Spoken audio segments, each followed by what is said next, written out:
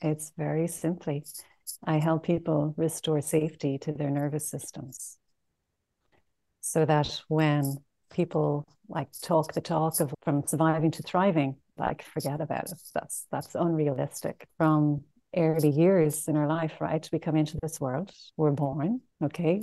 We're conceived and we're born. We don't get to choose whose arms we land in. And we don't get to choose like what state they're actually in and how well they can actually nurture us and nurture that sense of safety within our nervous systems from that very early age.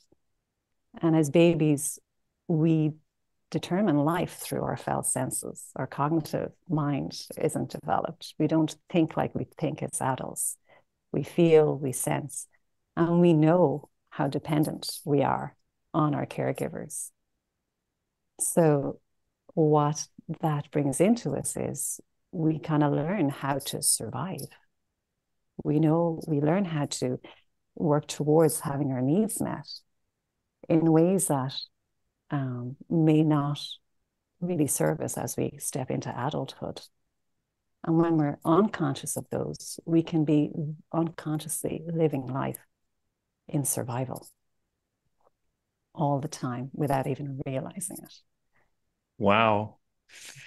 I think when you take it back to newborn, that eight pounds and six ounces, and you say, okay, this is the big, this is your beginning. You're welcome to the world. But then what happens to you mm. what the nurturing and the everything that you experience mm-hmm. yeah we learn how to to survive we're wired for survival and yeah. self-preservation a hundred percent talk about the work uh, that you do with with with the people you serve yeah with the guy like when when somebody comes to me and they start telling their story. Okay. Mm-hmm. My job is to really listen. And then from there, it's to shine a little light on when you're telling this story, how is it feeling in your body? Okay. So, is it increasing your heart rate? Can you feel your thoughts begin to race? Do you notice how things start bouncing all around the place? Do you feel grounded? Do you feel centered? Do you feel connected to this story? And where within you is that strongest connection? And then from there, we kind of gently weave them towards feeling grounded, feeling that centeredness in themselves.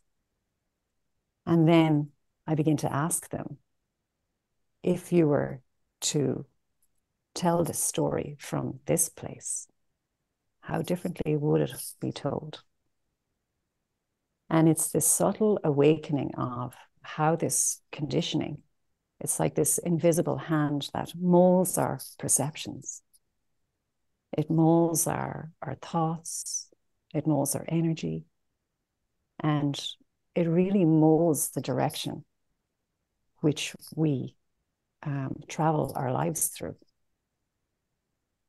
And when we know that we can actually like change this direction with some sense of reconnecting with these felt senses, which are deeply connected with our very younger being, then we get to collect ourselves in a completely different way. Because as you said, and how you said, like the, the angel and the saboteur, the job of the saboteur is really to prevent you from feeling the pain that you felt as a child. Right. right? Exactly.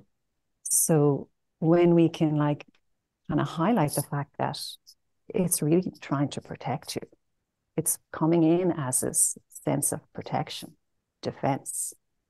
So you've moved away from this ability to connect deeply with your authentic self. You've gone into complete defense mode. The barriers are going up. Those survival strategies are well in place and are active. And so very slowly and gently, I begin to try and show them the vast ground between that angel and that saboteur so that we can start walking ourselves back to that middle ground where we can meet ourselves with compassion, with understanding. And when we bring it in through the framework of the nervous system, it gives us something tangible for things that just sometimes just don't make sense. Why does this always happen? Why do I react this way? And for a lot of people, they get that sense that this is not appropriate for this time and place. Where are these thoughts coming from? What just happened to the ground that I felt beneath me? Where did it go all of a sudden? Right? Yeah. So they begin to be able to connect to this innate, wonderful, like piece of, you know, engineering that's within us that has brought us this far. And then we get to that point of starting asking those questions. None of this is making sense. Why am I still stuck? Why are these patterns still here? I've tried talking about it. I've tried all of these things. And then I ask, have you turned towards your nervous system? Because these early core beliefs are very attached to our stress responses. And like as you might even communicate with me, and like there may be something that you say that maybe might trigger that early core belief. Say for me, I had this sense that I wasn't welcome. And you've made me feel very welcome here today. Right. But over the years, I've learned how very quickly that can come in and how I can like maybe begin to get a little shaky. And so there's my flight response. I start looking for an escape. You know, sorry, I'm out of time. I've got to go. I gotta go. Right, it's over. you know, um, because that's that's what the can like when we are in condition mode. That's how powerful it is. And then when we don't realize how, how much they drive our thoughts, our energy, our behaviors, our actions, then we are constantly um, letting it take the lead where that we can actually help unveil that unconsciousness through reconnecting with the sensations that arrive within us, because that's the language that our early childhood is trying to communicate with us through. It's not trying to keep us small, it's actually trying to help us heal. And when we can readapt our thoughts into like responding to what is arising as a form of healing intelligence rather than an obstacle or this thing that we have to get rid of. Um, it just changes our own conversation with ourselves and our own understanding of ourselves as like this whole other kind of being in a way and a whole different way of interacting with the world, with the people around us, with what's inside us with what's happening in the moment. That's amazing.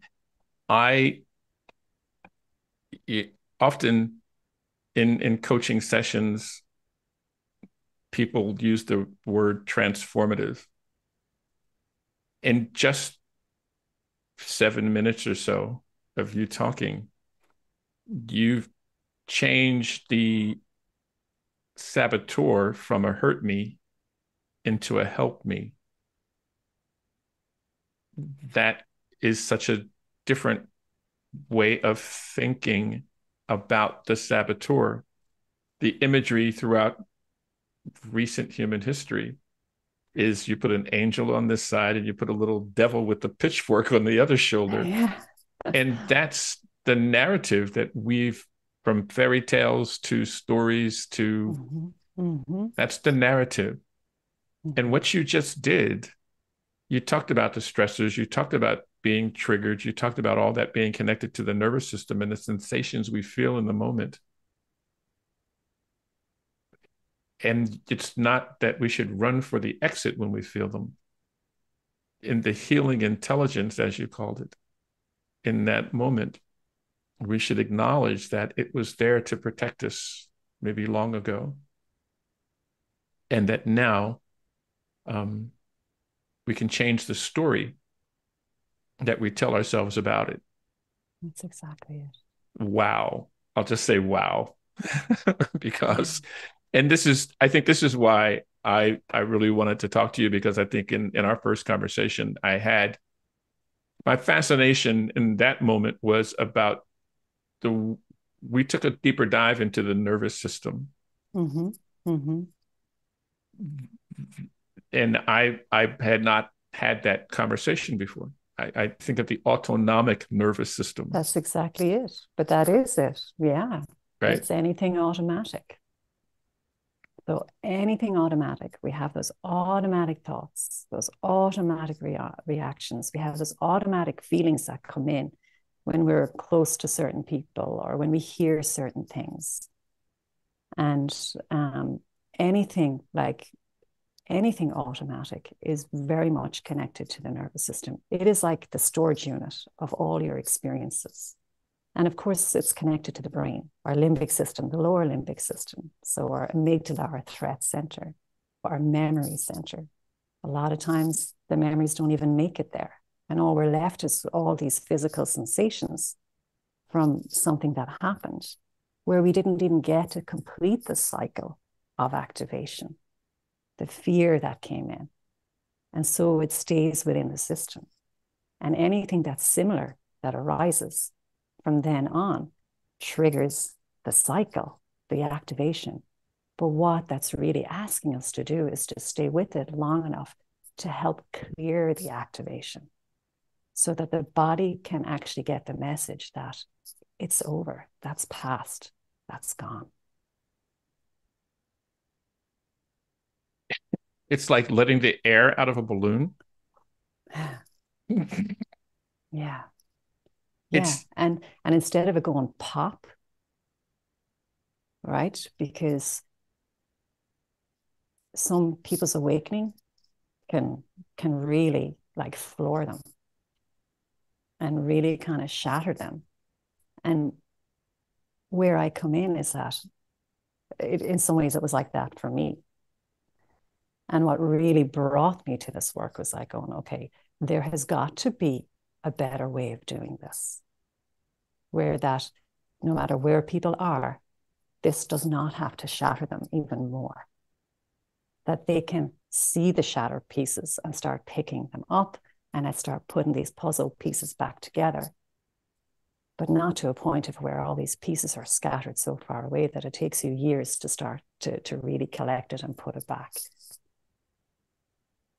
and that's that's really why my heart and soul is in this work because I know that pain, that pain of having that balloon just completely burst. It's like you think you have your your life made out. You've already put your puzzle pieces in, right? And maybe yeah. squashed a few in along the way. but it's like literally somebody comes and like takes their hand and flips it